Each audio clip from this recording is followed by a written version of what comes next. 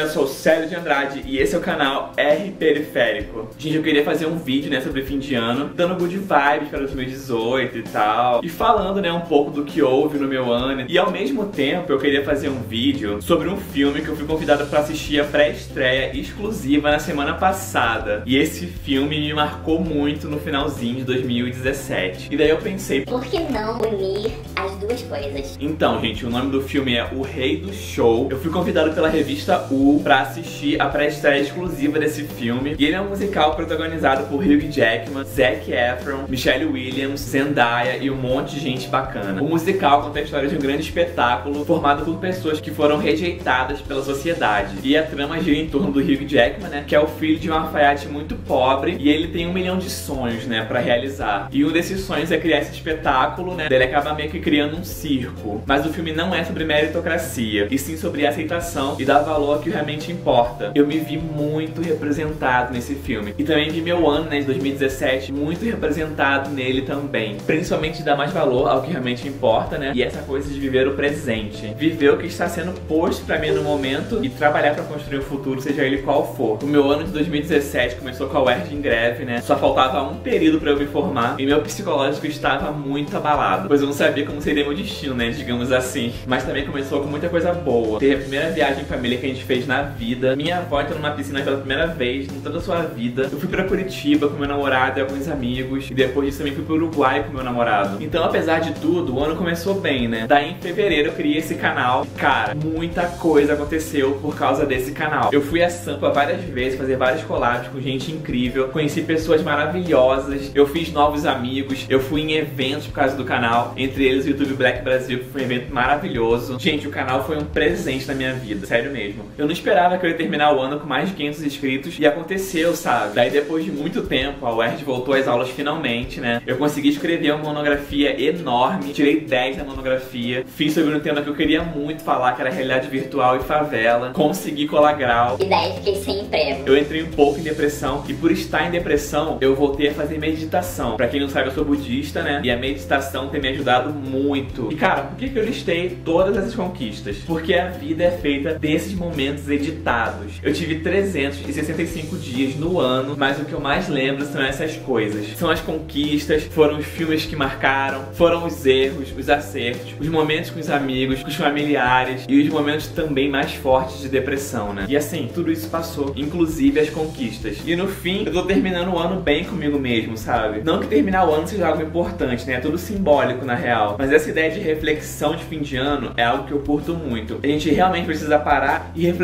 um pouco sobre nossas vidas, sobre o que a gente tem feito. Às vezes a gente foca a nossa vida numa edição de filme de terror, sabe? Mas olha para trás e vê o quanto você já construiu. Aliás, faz esse exercício. Põe aqui nos comentários as conquistas que vocês tiveram em 2017. Eu quero muito saber. Eu tenho certeza que todos vocês têm conquistas para falar e para inspirar uns aos outros também. E se você for parar pra pensar, o quanto que a gente já construiu, mesmo com toda essa desigualdade social, mesmo com toda essa desigualdade de oportunidades, de escolhas, mesmo com tudo isso, a gente tá alcançando muitos lugares. Então, cara, a gente tá arrasando. Tem uma música no musical Rei do Show chamada This Is Me que fala uma coisa muito bonita. Ela diz: Eu sou corajoso, eu sou minhas feridas, eu sou o que tinha de ser, esse sou eu. E isso de nós sermos feridas é muito bonito. Porque, cara, nossas feridas contam as nossas histórias. Elas mostram o quanto nós somos corajosos, o quanto nós lutamos, o quanto nós somos sobreviventes. E independente de como foi seu ano, se você tá aqui hoje e pode contar a sua história, cara, você é foda. E o que eu quero para nós em 2018 é mais dessa resiliência, mais dessa luta, dessa coragem de poder aceitar nossas dores, nossos sofrimentos e saber que tudo é passageiro e também mais da capacidade de sonhar. Eu sei que a gente não vai realizar todos os nossos sonhos, porque ninguém realiza todos, mas a força dos sonhos é muito grande. É um combustível enorme, cara. E gente, sonhar grande, sonhar pequeno dá o mesmo trabalho. Então sonhe grande. Mirem alcançar outro universo para atingir pelo menos a lua. E é esse meu recado, gente, que em 2018 a gente tenha a Million Dreams, um milhão de sonhos. Feliz 2018 para todos vocês. Muito obrigado por estarem aqui comigo ao longo desse ano de 2017, por acreditarem no projeto R Periférico. E eu espero muito estarmos juntos em 2018. Se inscrevam no canal se ainda não é inscrito, curtam esse vídeo, compartilhem para fortalecer o bonde. Muita luz para vocês e até o próximo vídeo.